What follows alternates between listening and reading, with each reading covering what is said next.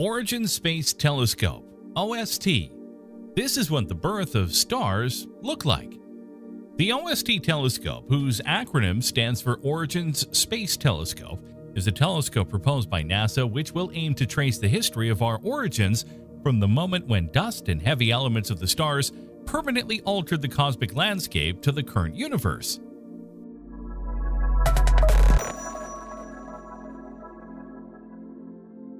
The origin of everything. For decades, scientists around the world and space agencies have done their best to try to uncover how the universe formed and what processes led galaxies and stars to take the shape they do today. Several projects, such as the Herschel Space Observatory or more recently the James Webb Space Telescope, which we have already talked about in previous videos, have as their main objective to study the most distant galaxies and stars of the universe in the near and medium infrared. However, so far the most distant and ancient events in the universe are still not visible even to the most powerful telescopes. But why? Why is it so difficult to observe the farthest events in the universe? And why is it said that the farther we observe, the more into the past we can observe? The lights of time. In the universe, the light of stars and galaxies is scattered in the form of a wave. Just as when we throw a stone into the water, it produces waves that propagate in all directions the light of the stars still propagates in the form of a sphere in all directions indefinitely and constantly. This means that no matter how far away a galaxy is, sooner or later its light will reach us and we can see them. However, there's a problem, and that problem is that as light travels through the universe, the universe itself expands. As you know, the universe is expanding every second and every moment, for billions of years, since the universe was born, it began to expand, and every time it does so faster. This is a problem for light because as the light from the galaxies travels through the universe, the space between the light waves expands. Consequently, the light waves of the galaxies are stretched. The longer the light waves travel, the greater the distance in the universe, but in turn, the universe also expands, and consequently, the light waves stretch, losing energy in the process. This effect is what in physics is known as redshift. This effect causes waves that travel for a long time in the universe to move towards the red strip of the electromagnetic spectrum, and the longer they travel through the universe, the greater their redshift. This means that the farther away a galaxy is, the greater its redshift, and the greater its redshift will be, the more difficult it will be for telescopes to see them since it is necessary to observe the waves of the infrared spectrum, and to be able to observe in that spectrum of light, it is necessary to achieve very low temperatures in the observation instruments. The problem of temperature in space telescopes. Telescopes intended to observe in the infrared light spectrum of the universe are designed to be able to work under extremely low temperatures. The Herschel Space Observatory operated under a temperature of 87 degrees Kelvin, this is equivalent to minus 186 degrees Celsius or minus 303 degrees Fahrenheit. The James Webb Space Telescope is designed to operate at a temperature of 53 degrees Kelvin, which is equivalent to minus 220 degrees Celsius or minus 364 degrees Fahrenheit.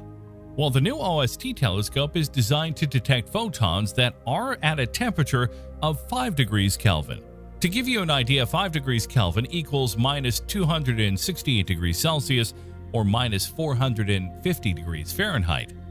In order to reach such extremely low temperatures, the telescope will require cryogenic cooling systems to actively cool the detectors and optics of the telescope to 5K. This will reach sensitivities 100 to 1000 times higher than any previous far infrared telescope. The reason why all these telescopes must operate at such low temperatures is that the infrared radiation that reaches us from the most distant galaxies is very weak, dim, and low energy. So in order to detect it, it is necessary that the instruments that are responsible for detecting them have low temperatures, so that the radiation emitted by the equipment does not interfere with the measurements. Thanks to the ability of the OST telescope to detect particles at very low temperatures, it will be able to detect the light of the most distant galaxies in the universe and will help us observe what the entire universe was like billions of years ago. Characteristics of the OST The future OST telescope is still in the development phase and it is expected that its launch into orbit will be by 2035. However, it will present some similarities with telescopes already known. Some of the most familiar features will be that the OST will feature a mirror sectioned in hexagonal panels, just like the James Webb Telescope, with the difference that the primary lens of the James Webb measured 6.5 meters. The primary lens of the OST will have a diameter of about 5.9 meters, smaller than the James Webb, but it will have technology and instruments more focused on observing the distant universe. OST instruments Initially, the basic design of the OST contemplates a load of three instruments. These are 1. A mid-infrared transit spectrometer MISCT that operates from 5 to 30 microns, with resolving powers are approximately 100, 300 in three bands. MISCT will measure the spectra of transiting exoplanets in the wavelength range of 2.8 to 20 micrometers and offer unprecedented sensitivity, enabling detections of definitive biological signatures in stars and exoplanets. 2. A far infrared OSS medium spectral resolution direct detection spectrometer optimized for multi-object spectroscopy and large area mapping spanning 30 to 600 microns. It will cover wavelengths from 25 to 588 micrometers, conduct deep and wide area spectroscopic surveys with spectral resolution power R300, which will help it observe the deep universe. 3. A far infrared broadband imager polarimeter FIP operating in two bands, 50 250 microns. The FIP will be able to measure thousands of square degrees with broadband images at 50 and 250 micrometers, which will help you probe large areas of space in a very short time. What makes the OST special is that it will be the first optical telescope capable of observing in the far infrared. Previously, other space telescopes such as Spitzer or Herschel were able to observe near-infrared radiation successfully. Even the new James Webb Telescope is capable of doing so. But the OST telescope will be the first of its kind, an instrument capable of observing the far infrared, which will reveal the oldest images of the entire universe. The idea is not that the OST telescope replaces the James Webb when it is running out of fuel, but that both will work together observing the same region of deep space at the same time with different instruments in different ranges of the infrared spectrum.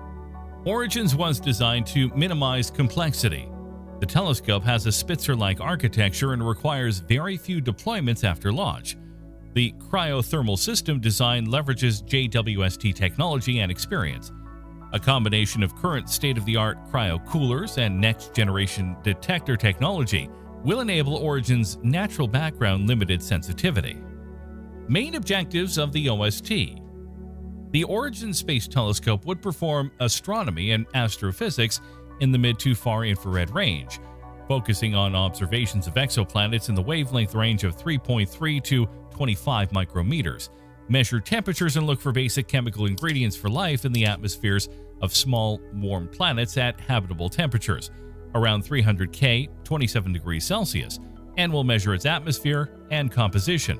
This can be achieved by a combination of transit spectroscopy and direct coronagraphic imaging. Important atmospheric diagnostics include ammonia spectral bands, NH4, a single nitrogen tracer, the 9 micrometer ozone line, ozone O3 is a key biosignature, 15 micrometers squared carbon dioxide. Carbon dioxide is a major greenhouse gas, and many wavelength bands of water. Its spectrographs will enable 3D studies of the sky that will discover and characterize the most distant galaxies, the Milky Way, exoplanets, and the far reaches of the solar system. Hopes of finding the origin of everything. The OST will be the first telescope in history to be able to observe the far universe at far infrared frequencies. Currently, telescopes such as the James Webb or the Herschel Space Observatory have observed the universe only at near infrared frequencies. Moving directly from the near infrared to the far infrared will mean an unprecedented increase. Even the estimates of scientists is that with this range, it is possible to observe the birth of the first stars of the early universe as well as the formation of galaxies. With this, it is expected that astronomers will be able to decipher the shape that the universe had in the past. It is currently known that the universe expands, and for billions of years, the shape that the entire universe had has changed a lot if we compare it with the shape it currently has. With the OST, we will be able to see the evolution that the universe has undergone throughout its history, from when it was born billions of years ago to the present date. Are we alone? Finally, one of the main missions of the OST telescope will be to search for exoplanets that have the potential to host life. Currently, some telescopes, such as the James Webb or the Very Large Telescope, have already been entrusted with this task, but we still have a long way to go to observe the worlds with the best chances of hosting life, especially those that resemble the Earth. So far, the most powerful telescopes are able to detect very large planets the size of Jupiter or Neptune, but these are not the ones that interest us since there can be no life in them as far as we know. The planets we are looking for are much smaller, the size of the Earth, and so far we have only found a few. It is expected that the James Webb Space Telescope finally managed to detect this type of planet, however we will not know until it becomes operational. Another problem is that for now the best way we have to detect exoplanets is when they pass right in front of their star when they are seen from Earth. That is when a transit occurs. So that if the exoplanet does not cross in the view of the Earth, it will not be possible to detect it. On the other hand, the OST telescope will have a greater capacity to detect this type of planet, since it will be able to observe the surrounding areas around the stars. In this way, it will be possible to observe the exoplanets of the stars even if they do not pass in front of the light of their star. This will greatly increase the number of detectable exoplanets, and with some luck, we will find very Earth-like worlds, green and blue planets with large amounts of water where life can arise just like on Earth. If we find a world with these characteristics, our hopes of being able to find living beings outside the Earth will increase considerably, and we will finally be able to answer the great question that our ancestors asked themselves thousands of years ago when they looked at the stars. Are we alone in the universe? The future OST Space Telescope will be a great advance in the way we observe the universe. We can only hope that modern science and technology make it a reality.